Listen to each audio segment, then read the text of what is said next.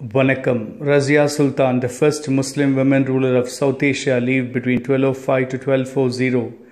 She ruled Delhi Sultanate majestically by building schools, hospitals, colleges, public libraries, laying roads. She was a bridge among different communities.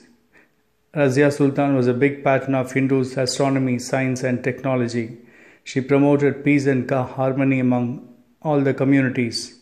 Proud of you, Razia Sultan. Jai Hind.